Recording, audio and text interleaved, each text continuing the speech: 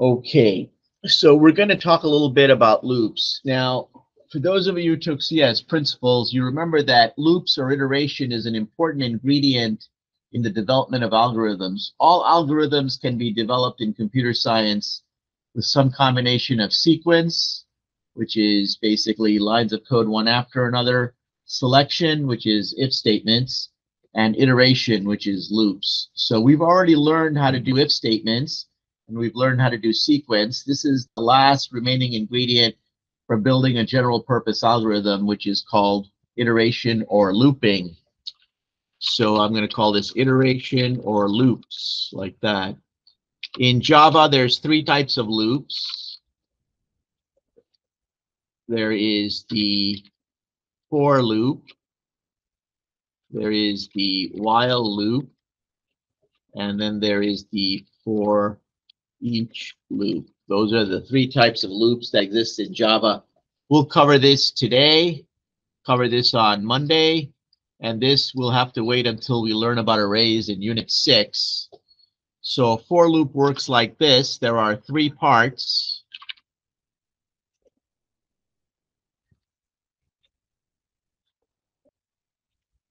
The first part is called the initialization part of the loop you have to set some variable. You can either declare a brand new variable or reuse one that already exists. I will create a brand new variable and I'll set it to zero here. And then you have the next part, which is called the test. So the first part is called the initialization. The second part is called the test. And the third part is called the increment. So here I'll say i is less than 5. And then the increment, I'll say i equals i plus 1. Now, as is so often the case in Java, you have an option of putting curly brackets or not. If you put curly brackets on an on a uh, so in Java, you have a choice. You can use these curly brackets or not. And if you choose to use these curly brackets, then you can put multiple lines of code in here. If you don't have the curly brackets, who can tell me how many lines will be associated with the for? Miss Mythica? Only one line. So I'm going to just leave it at one line, and I'm going to put in here system out println i. And we're going to talk a little bit about this particular loop. And we'll see, first of all, that we're creating a brand new variable. We don't have to create a brand new variable. If there was another variable previously defined called i, like this, then I could simply reuse it like that. See, I'm reusing the existing variable. But I can also declare a brand new one here, like that. And you can see here that I'm declaring a new variable and initializing it to a value of zero. And then immediately after I declare this variable, I'm going to do this test. I'm going to ask the question, is zero less than five? And the answer is yes. So then I'm going to execute the loop. This statement here runs at the end of each loop iteration. These, this only runs once before the loop starts. This runs at the beginning of each loop iteration, and this runs at the end. You can think of this statement here as sort of like being down here. I'm going to put these curly brackets in. I've changed my mind. You can think of this being like sort of like down here, but it's not. It's positioned up here. So my question for you is how many times will this loop run what values of i will be printed. You discussed this with your partner for just a minute. Mr. Sawyer, if you were this loop, sir, how many times would you run? Five times is right, sir. Sir, can you tell me what values of i you would run for? That's right, zero, one, two, three, and 4. Let's run this puppy. You can see it ran for zero, one, two, three, four. It ran five times. Now, we don't usually write i equals i plus 1 because there's a shortcut available in Java. We can write it like this. Alternatively, we can also write it like this. Here, it doesn't matter if we're doing a pre-increment or post-increment. I'm just going to write it like this because that's my own habit. but this will work exactly the same way. Let me show you that. You can see it produces the same results. Now I'm going to change this slightly. And I'd like you to try and figure out how many times will this loop run and what values of i will be printed. Try and figure that out now. Mr. Sneed, can you tell me, sir, how many times will this loop run? Three times, sir. And what values of i will it run for? Zero, two, and four. So you can see it runs like that. Now you notice here that it still compiles even if this part is missing the increment part. I've moved the increment down here. Who can tell me how many times will this loop run and for what values of i? Mr. Pandale, sir, how many times will the loop run now? Yes, it's the same thing. Very good, sir. Let's run it again. So you can see that it's possible to do that. We don't usually write loops like that. We usually put it in here but I just wanted to mention to you that this part was optional. Let's keep going now and see why we might want to use a loop. So a lot of things we can do with loops. One of them things we can do is we can manipulate strings. So I'm going to go through some of the problems on CodingBat with you on strings. We'll start with some real easy ones. Okay, here's string two. And uh, let's look at this one. We want to take the original string and create another version of it, which uses each letter twice. Let me make this a little bit bigger for you. So you can see if they give us the word the, we want to return this other word that has each letter in it twice. So to do this, we're going to do something called parsing the string. Parsing means examine one at a time. So if we want to parse the string, we're going to take this word the and we're going to look at each letter one at a time. So to do that, I'm going to create, first of all, an answer variable. And I'm going to set it to be empty initially. That's the empty string. And each time I come across a new character in my string parameter, I'm going to add two copies of it to my answer variable. So I'm going to say for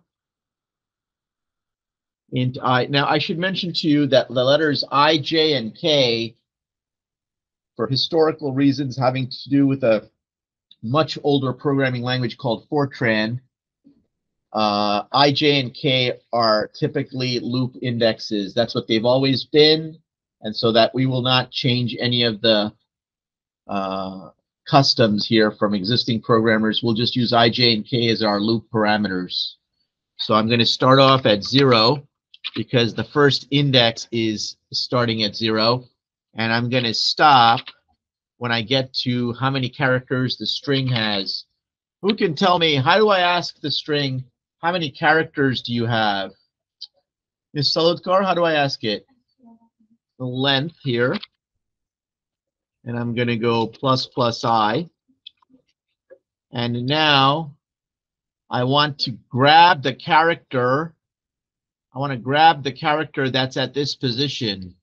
Now, if I go like this, if I go str.substring 0, 1, that would grab the character at the first position. If I go like this, that would grab the character at position 2 or the third position that starts at 0. How do I grab the character at the ith position? Mr. Sneed, I think I heard you mumbling it. What is it, sir? And then what? What's the next one there? What's the next one? I only want one character, sir, so i plus one. Very good. So this grabs me the character, and I want two copies of it, so I'll do it twice. And I want to concatenate them together, so I'll go like that. And then I'll put over here answer equals answer plus the next two characters like that. So I'm going through this string. I'm grabbing each character.